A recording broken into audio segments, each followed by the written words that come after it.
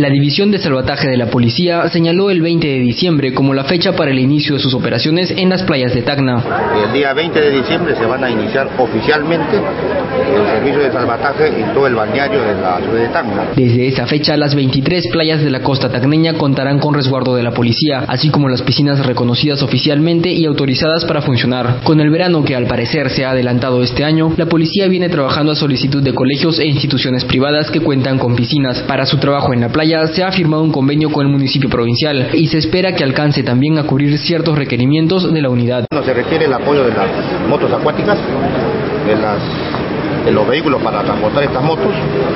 Nosotros tenemos personal especializado que maneja y manipula estas motos acuáticas Asimismo, se requiere la mejora de la instalación de salvataje. Pero la seguridad en las playas no se limita a los 42 policías que ya tienen experiencia en salvataje y que vuelven a ser entrenados. Para esta temporada de verano no solamente está comprometido el servicio de salvataje. Se movilizará policial de serenazgo de la provincia, policía de carreteras y tránsito para realizar operativos de alcoholemia y evitar que decenas de conductores se transformen en potenciales peligros en el camino de regreso a Tacna.